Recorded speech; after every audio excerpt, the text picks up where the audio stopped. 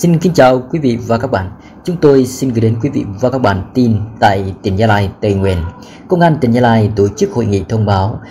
quyết định của Chủ tịch nước về việc thăng quân hàm từ đại tá lên thiếu tướng đối với đồng chí Ra Lan Lâm, Giám đốc Công an tỉnh Gia Lai, đồng chí cửa Sò Phước, nguyên ủy viên Ban chấp hành Trung ương Đảng, nguyên Chủ tịch Hội đồng Dân tộc Quốc hội, nguyên Bí thư tỉnh ủy Gia Lai ngày 31 tháng 12 2020 tại Hà Nội thừa ủy quyền của Chủ tịch nước. Đại tướng Tô Lâm là ủy viên Bộ Chính trị, Bộ trưởng Bộ Công an đã trao quyết định của Chủ tịch nước về thăng quân hàm từ đại tá lên thiếu tướng cho đồng chí Rà Lan Lâm của Đảng Cộng sản Việt Nam trong quá trình công tác dẹp tan vụ biểu tình Tây Nguyên. Thiếu tướng Rà Lan Lâm đã lập nhiều chiến công nổi bật như trực tiếp tham gia chỉ đạo giải quyết đồn hình vụ biểu tình năm 2001 và 2004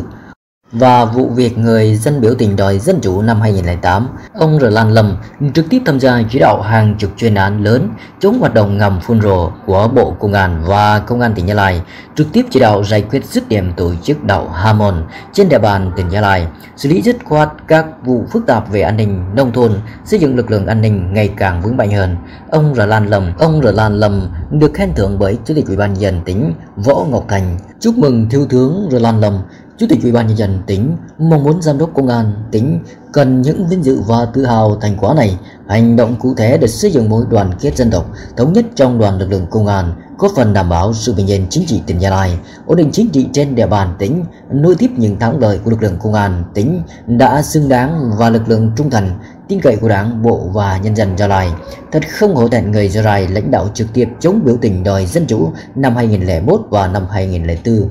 cơ so Herbert Cup làm nóng nghị trường và cộng đồng mạng. Nhìn lại bài phát biểu của cờ Bờ và những thành tích của bà cờ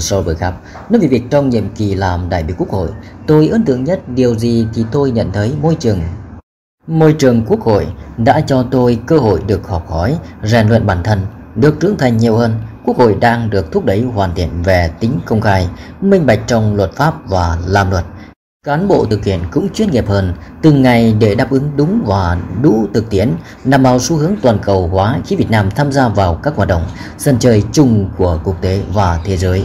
Câu hỏi đặt ra, nhìn lại quá trình 5 năm qua, bà thấy một nữ đại úy công an khi mới bước vào nghị trường quốc hội với một nữ đại biểu quốc hội cờ sở hơi bậc cấp hiện nay có gì khác biệt? Tôi không biết cử tri nhìn thấy sự khác biệt gì của tôi trước đây và bây giờ như thế nào. Tôi nhìn lại quá trình 5 năm qua về tư tưởng, nhiệt huyết và tính cách của tôi cho đến hôm nay vẫn vậy. Ai đã từng biết về tôi, từng làm việc với tôi cũng sẽ hiểu mọi việc tôi làm. Mọi lời tôi nói vẫn không có gì thay đổi.